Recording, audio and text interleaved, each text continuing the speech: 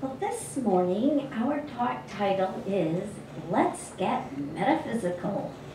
And it is, as you can imagine, the metaphysics of science of mind. And so today we are using our science of mind symbol to speak, and that is the next part in the book. We are getting very near the end of the book, but this is right there near the end. And so the metaphysical charts at the end of the book are actually teaching symbols that we use in classes. They help to inform and help people understand the way life works.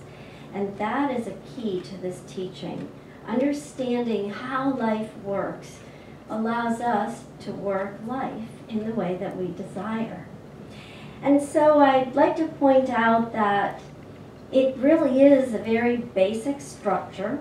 It really is a simple explanation. And at the same time, it can be seen as being very complex, especially when we're facing a challenge, something that we're working to overcome. And we get to the point where we remember, oh, yeah, I remember the way life works. So who needs to make the change? Nobody and nothing outside me. Oh, bummer. It's me. It's always me. Although the metaphysical symbol is um, for science of mind and developed by Ernest Holmes, it does cross many religions and spiritual traditions because it incorporates the idea of the nature, the nature of God, the nature of life, the nature of reality, that being our, each and every one of us, natural state of being. And I think sometimes we get so caught up in the world that we forget who we are and what we're here to do. It is scientifically provable by each individual, and it is well demonstrated in the larger life, the universal energy that God is. Ernest Holmes wrote, The eternal cycles of life in motion fulfill my faith. So let's begin with the idea that our personal relationship with the Creator always helps us achieve a greater understanding. It helps us to live with tolerance, acceptance, and respect for what appear to be the many differences in human form for us in life. And they, it helps us to understand this as we get closer and closer and spend more time talking within to God and living as though we truly are the loving, peaceful, joyful presence of the One. And that is true because we begin to understand that oneness. We begin to understand that there truly is only one life. There is only one of us. This song we just sang, in your eyes, when I look into you, when I speak to you, if I see me, I'm going to speak to you with love and gentleness, kindness. And I'm not talking about enabling, I'm talking about love. And as we become more clear with the idea of one life and living in it, we begin to understand that if I really truly do believe that there is only one life, then out of necessity I am of that. And I am that now, regardless of how I'm showing up or what I personally believe about anything about myself. I am that. And that is true not only for this given moment, but throughout eternity. Will you put the first slide up? Oh, you did already. No, she did. Oh, thank you, sir. So, oh, it doesn't show the colors as beautifully as it is in real life. In reality, this is all blues and purples around there, and it's really, really pretty. It looks kind of dark in this one.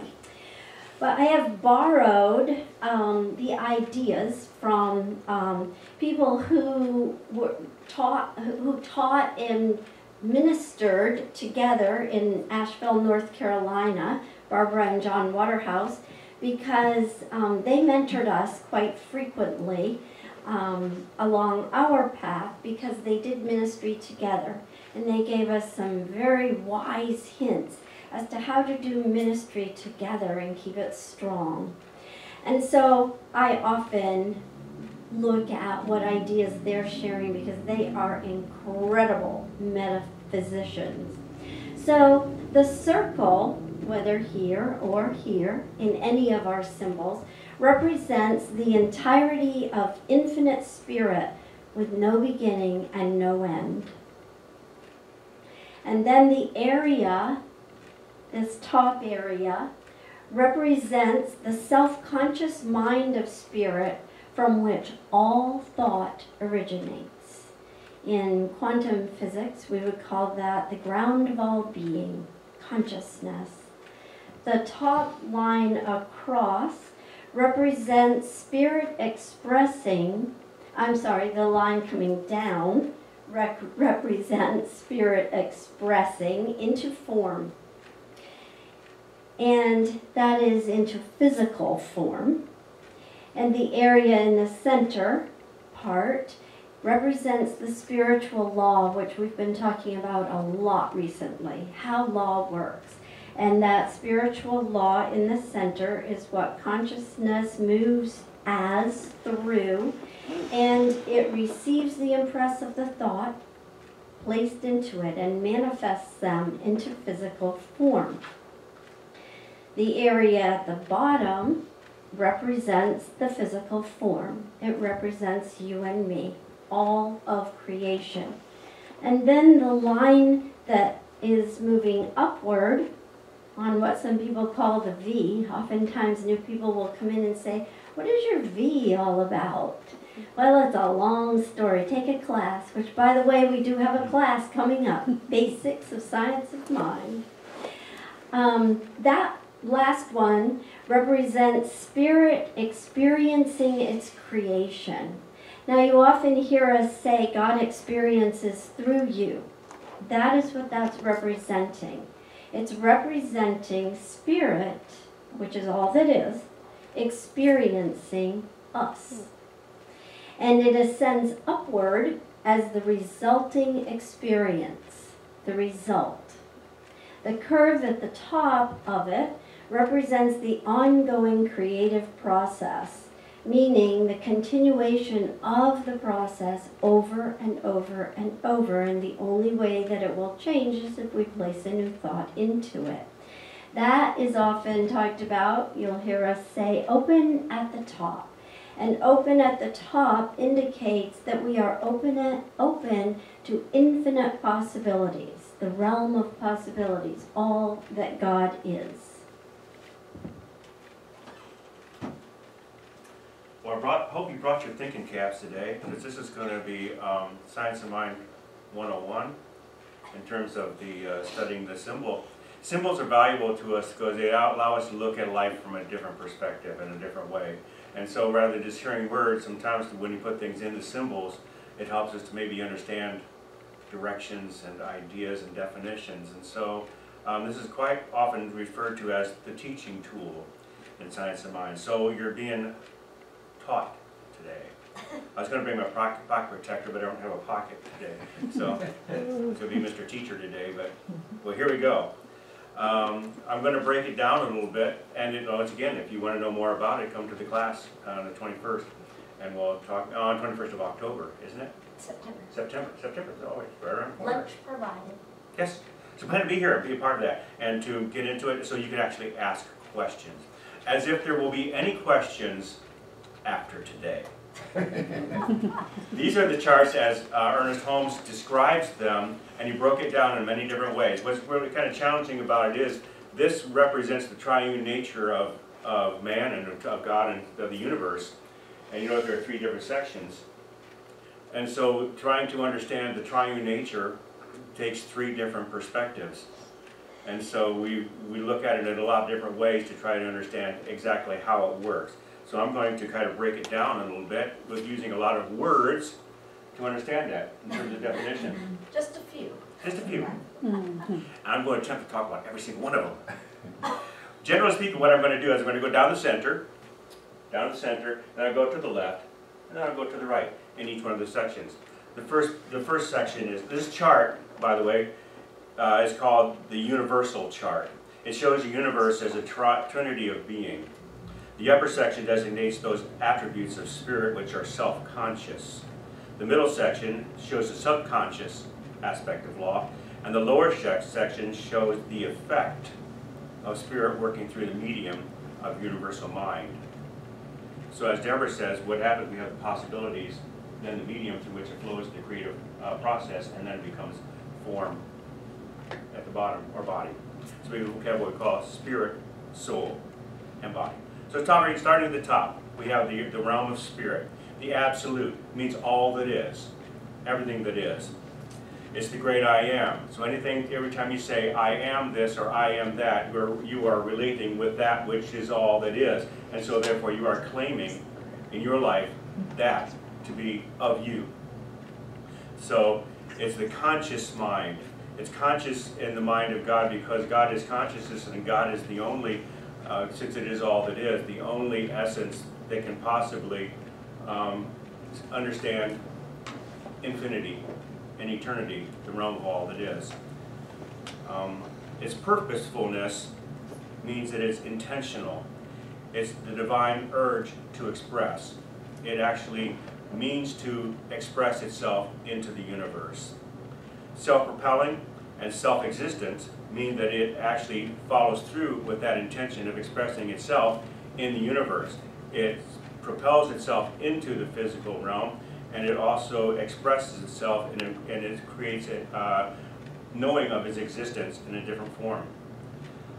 These terms of volition, life, truth, power, choice, and will are a little bit challenging because quite often we don't necessarily think of God as having choice, but He does in a, in a certain way. The volition means the act of independence, or in, to act independently, because it is the one essence of all that is, and so therefore it cannot work in cooperation with anything else because there is nothing else. And so it's an independent energy. Um, life, we all know that God is life, we all know that God is truth, that God is the power of the universe. Choice is a little bit of a challenge, but choice means that it's like the will, that's combined, combined with the word will, meaning that it's God, the, uh, the Father's good will to give. And so, the kingdom. Free spirit, it cannot be bound, since God is all that is. It cannot be bound, so therefore it must be free. Peace and poise also represent the idea that if there is nothing that opposes it, it must always be at peace. It must always be at poise, it must always be at rest. There's nothing to work against it. The word represents self-contemplation. Quite often talk about the self-contemplation of God.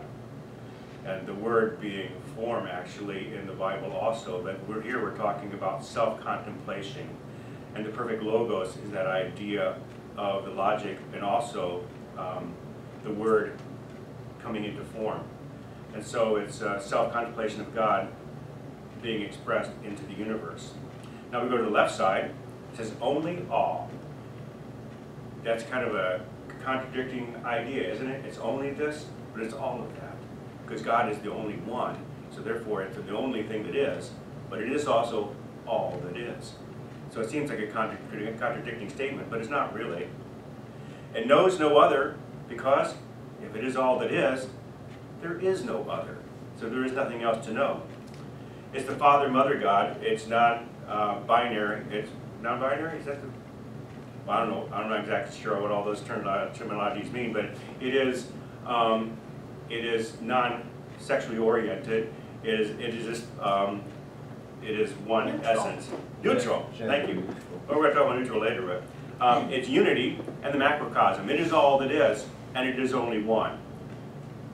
Uh, it's the great house. In the Bible it says, in the, my Father's kingdom are many mansions. That's what it means. It, unity and multiplicity. In my Father's house, the one place, there are many ideas, many expressions to be lived through.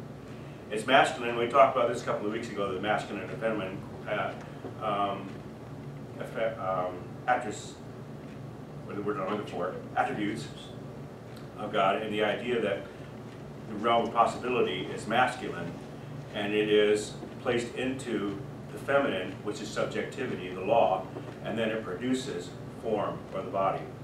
And so we understand that idea. And it's always active because God is life, and so therefore life is always active. Then we go to the right side. Personalness represents the idea that God is all that is, God is the one person. Quite often hear that terminology, one person.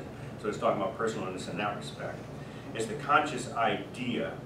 It's the realm of possibilities. We choose one idea from the realm of infinite possibilities. We insert it into the law and let it become manifest.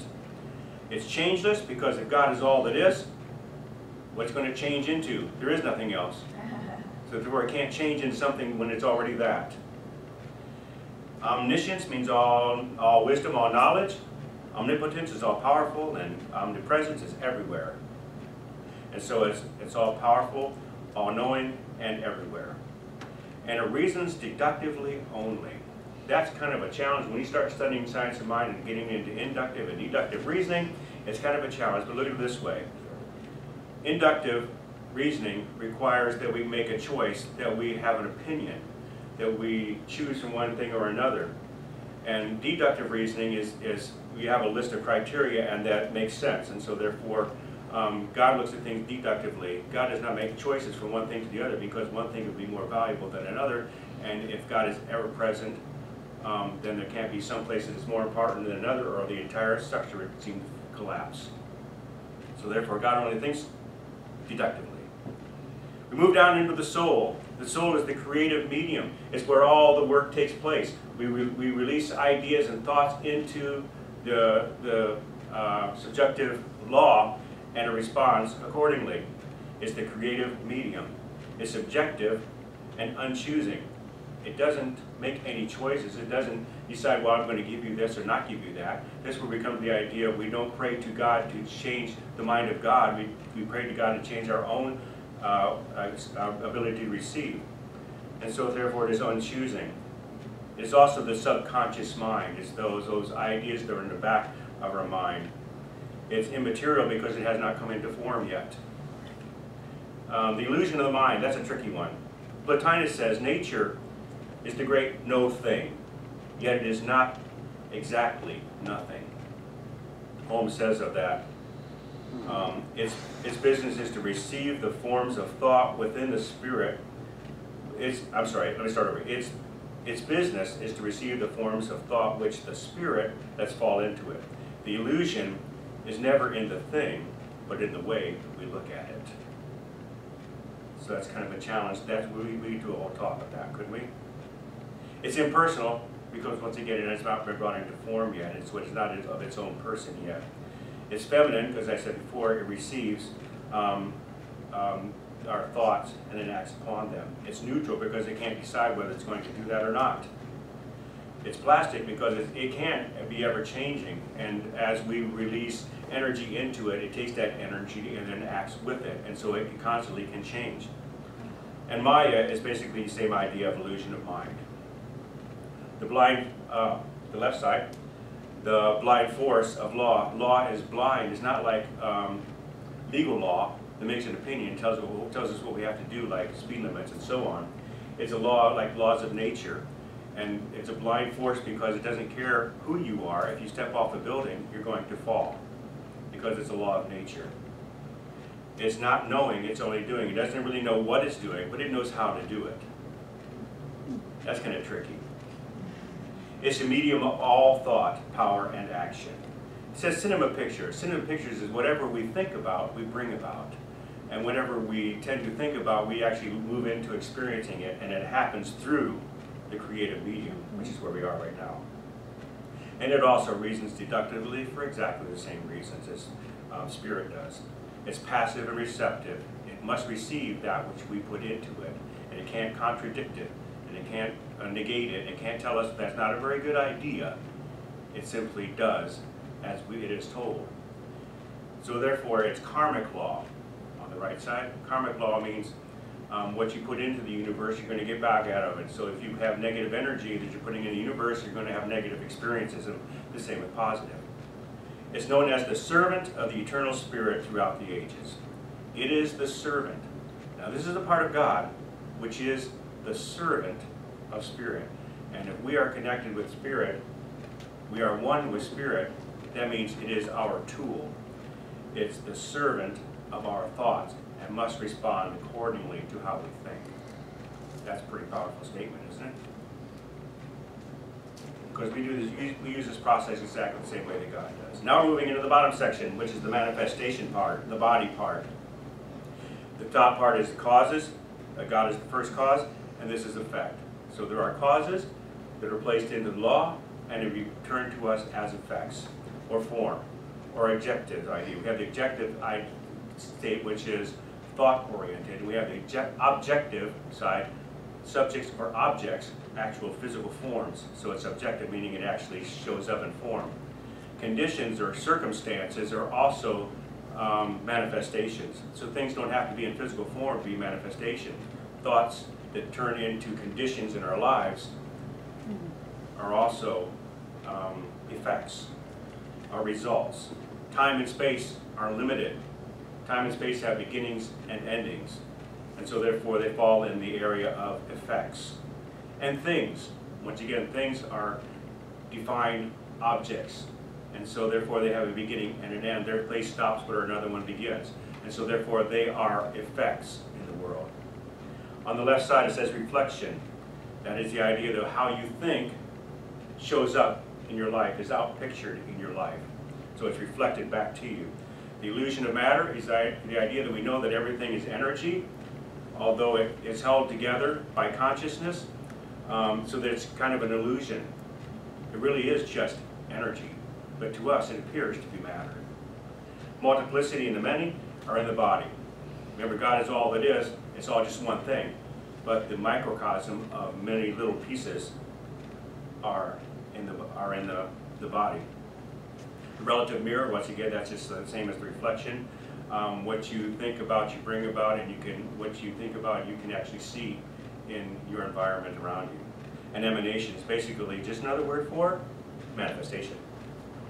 Is that all that clear? Told you a lot of words. This is basically what Deborah just talked about a little bit ago.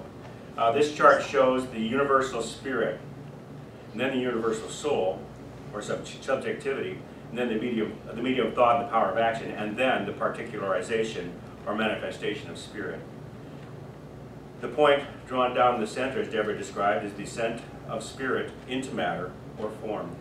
It is necessary that spirit be manifested in order to express itself. The word unity on the descending line shows that all come from the one. Everything that is in manifest form comes from the one essence of all that is. Man reenacts the whole universal life, and his nature is identified with spirit. What is true of the whole is true with any one of its undivided parts. Undivided parts. What is true of the whole is true of any one of its undivided parts. Man comes to a point of individualization in the whole and is subject to the law of the whole. So we work exactly the same way that God does in terms of creativity. Number three. Oh, more words. This chart shows how man reenacts the whole and is a subject to the law of his own being. Man thinks consciously, and his conscious thought becomes the law of his life. The upper section stands for the self-conscious man, and the middle section stands for the subconscious man, and the lower section stands for the man as he appears in the flesh and in the conditions of his life. Now we know as we are spiritual beings who go through this physical experience, it's easy for us to see everything in form, but it's maybe not so easy for us to understand ourselves in those top two sections. So this is very valuable to look at. So in the spirit, in our spiritual nature, there's the term Christ logos, which is basically what we call Christ consciousness. We know that's a place where we con where we connect with the spiritual nature of who we are. And uh, Ernest Holmes quite often describes this as the sonship, the Father and the Son. We are sons of the Father, but we are made of the Father, and so therefore we are in relationship with as one. We are the microcosm within the macrocosm of all that God is. Emmanuel, the word Emmanuel actually means God with us, or God in us, or God as us. We have a personality, and we have an individuality, but that personality and individuality is an expression of the divine, because it is God expressing through us. So therefore, it is actually spirit moving through it as us. So that's what that individuality and personality mean. It's a conscious state, it's a mental and spiritual state, and we can reason both inductively and deductively. We can reason inductively, either correctly or incorrectly. Or we can uh, reason deductively. And so that's a little bit different than from the realm of God, which can only reason deductively. It's also the, uh, the realm of intellect, the divine realm of uh, divine intelligence, purpose, which is our intention, and decision, because we can actually make decisions. We can choose from the infinite realm of possibilities and place them into the law and see them manifest. It's a place where there is will, choice, and volition. Now, this will can mean that we actually put the system through the process intentionally, and we can actually choose individual ideas, and we have volition because we can actually be the creator of our own destiny. The soul, the middle section, is subjective, means it's unconscious. It's our thought processes, it's not our physical energy. It's subconscious, it's unconscious, it's the stuff that um, we think about in the back of our mind we may not even be aware of. But it, it also is consciousness. So all of it is, is involved in consciousness. It is karma because uh what we think about we bring about and we experience. And it is aura because it's in us, through us, and as us. It's uh, the memory conflict, the psyche, the inherent tendencies, the race suggestions, the prenatal conditions, the images of thought. All of those things are things that influence the law, and they're unconscious to us in most cases until we actually experience this. Remember, Ernest Holmes says our unconscious thoughts are quite often more powerful than our conscious thoughts because 99% of our thoughts are actually unconscious. Autosuggestion means making suggestions to the self, and Ernest Holmes uh, defines it as expectant belief, which is very powerful. And it reasons deductively only for the same reasons we talked about that before. The bottom is the, the section of the body, or the effects as we experience them. It's our affairs in our life, because we what we thought about has brought those affairs into our reality. Um, it's conditions or circumstances, once again, as we talked about earlier. It's the results Here's interesting, it's either health or disease, depending on how you think about it. If you have unhealthy thoughts, you're going to experience an unhealthy life. And if you think um, health, you're going to uh, create the, the healthy life. It's a destiny because what we think about, we bring about, and so therefore we're creating our own destiny. Um, riches and poverty falls in the same thing as health and disease. If you think rich, you're going to get rich. If you think poverty, you're going to stay poverty.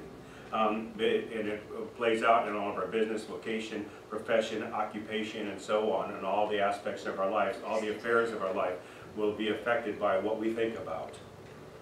It uh, has no reason, because once something becomes matter or form, it has no opinion anymore, because it can no longer grow from that point on. It is, it has its limitations. A lot of stuff there, huh? Come to class. The next one is the, um, the metaphysical chart for, it says the upper section of this chart shows how the conscious mind or spirit of man reflects or contemplates itself. You know that God um, creates through self-contemplation, but that is exactly the same thing that happens for us. So this is talking about how we reflect or self-contemplate through the medium of the soul or subjectivity into form or matter. The middle section represents the subjectivity, the mirror of mind and unformed matter, the servant of the spirit, and the lower section shows the result of self-contemplation as it takes form in the world of matter. And so uh, this is pretty well self-explanatory, I think. Basically, Deborah described this earlier. Um, just the idea we think thoughts, we, we drop them into the, the subjective medium, and then they become um, particularizations to become form or matter or body. In your class, I would say, are there any questions on that? But we're going to go on. We have one. This is number five. This is how ideas manifest as things. This chart is divided into two sides, presenting the world of thought and the world of reflections. It represents the law of cause and effect. The world of thought is the world of ideas, while the world of reflections means the results of thought. The world of reflections is entirely a world of effects and is, of itself, unconscious and unknowing. Consider everything on the left side of this chart to be thoughts or ideas, and consider everything on the right side to be automatic results of the law as it works out into effects. So we have on the left side the world of thought. We know that thoughts become conditions. We know that cause creates an effect. We know that belief causes a correspondence between us and the infinite realm of possibilities. We know that every image that we picture in our mind is mirrored back to us in reality. We know that a seed, seed planted in the soil becomes a plant. We know that limited thought creates poverty. Uh, free thought creates wealth. Acceptance creates opportunity. We think peacefully, we, we experience peace. When we, we, when we think in terms of prayer, we receive an answer. Everything which is positive, we receive positively, negatively, and friendship-wise, we, whatever thing we picture becomes a thing, and so on and so on and so forth. As we think, so we receive. And this is the last one. This is the mystic's chart and shows how the universal becomes the particularization of itself through man. Man comes to a point in the universal or God and is the idea of God as man. The Father is represented as the whole just back of or above or within man. This is the indwelling God to whom we pray and with whom we talk. We are expressions of the divine. And so we have the triune nature, which is the three different parts, the indivisible whole of which we are part. And so therefore, the absolute is within, the absolute within, which is the relative, the uncreated within, which is the created, the changes within, which is change, and so forth, and so forth, and so forth. We are within the whole, and we are expressions of the whole. So it's God the Father which art in heaven, or God the, the God, um, our Father which is within each one of us, the sons, the personalities, the individual, individualizations, or just plain man and woman. That's a whole lot of logical, meaty, thinking stuff. And if you want to learn how to apply it to life, come to that class. And for those of we always are anyway, so keep practicing.